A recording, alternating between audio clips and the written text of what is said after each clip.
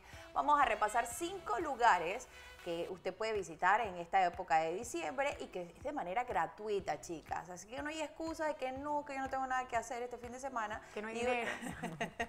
y uno de ellos es el casco antiguo a Sara, a Yami. Le encanta pasear por estas áreas. ¿Y qué tiene el casco antiguo, Yami, para, para traernos en este diciembre? Bueno, es uno de los lugares preferidos por nacionales y turistas, ya que posee hermosas edificaciones de estilo español y francés, edificios, plazas, museos, iglesias, conventos llenos de historia. También hay restaurantes, bares y hoteles que conservan sus fachadas de casonas antiguas con calles angostas y empedradas. En Casco Antiguo está la sede del Palacio de las Garzas, el Palacio Presidencial, también el Teatro Nacional y el Museo del Canal Interoce- Interoceánico, entre otras edificaciones.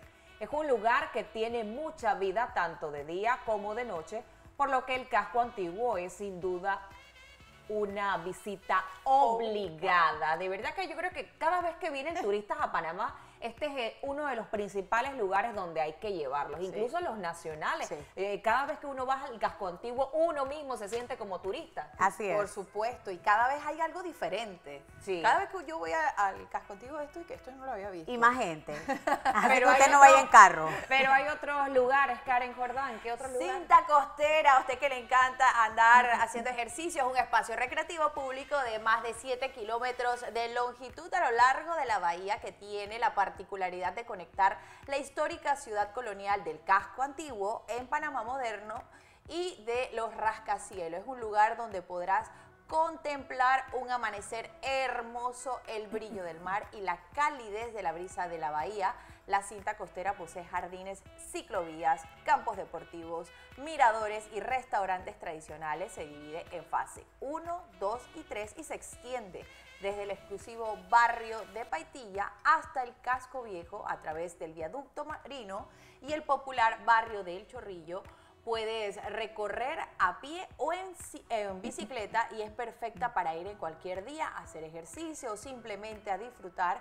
Puedes ver personas practicando yoga, eh, eh, hacer algún tipo de relajación, ejercicios al aire libre, perfecto para caminatas. En medio de toda la cinta costera está el mercado del marisco, donde también puedes disfrutar de un buen ceviche panameño.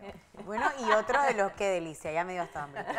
Y otro de los lugares también a los cuales usted puede asistir y disfrutar también eh, espectacular, pues es el Cerro Ancón, una de las actividades que se puede hacer gratis en este mes y es que subir el Cerro de Ancón declarado Patrimonio Histórico Nacional y Reserva Natural, se encuentra ubicado a 199 metros sobre el nivel del mar y es el punto más alto de la ciudad. Pues hay varios miradores donde puedes deleitarte con los edificios de la ciudad, también las esclusas de Miraflores y Cocolí, el puerto, los puentes, el, el puente de las Américas, el puente Centenario, el casco antiguo, la isla Taboga, además Aquí está la bandera panameña más grande, pues con las medidas de 15 metros de largo por 10 de ancho, visible desde casi cualquier lugar de la ciudad de Panamá.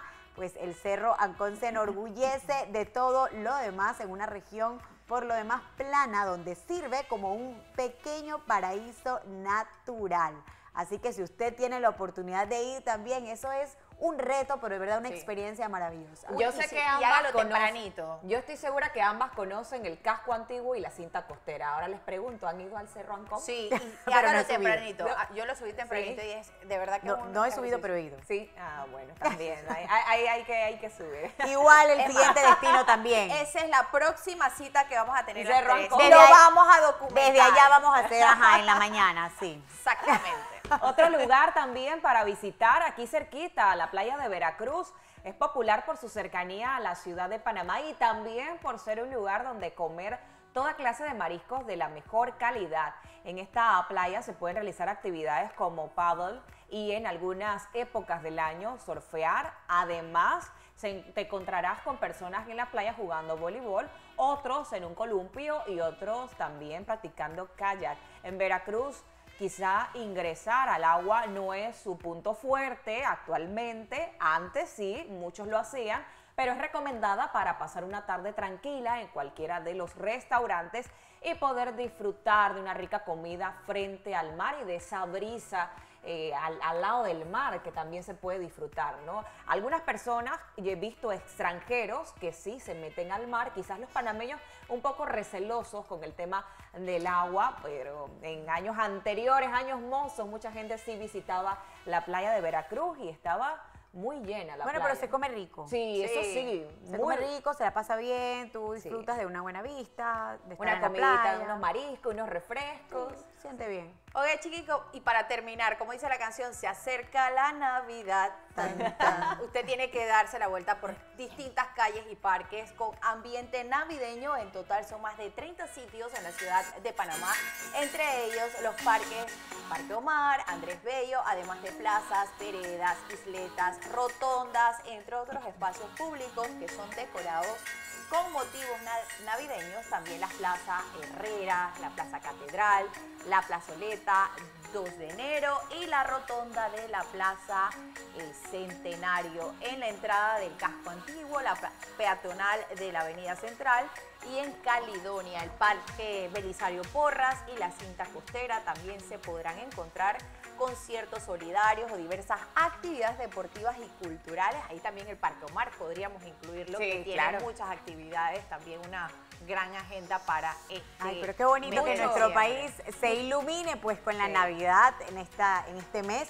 y que usted pueda disfrutarlo con los más pequeños también, que son los que se divierten viendo esta cantidad de luces. De verdad que emocionó que nuestro país esté así.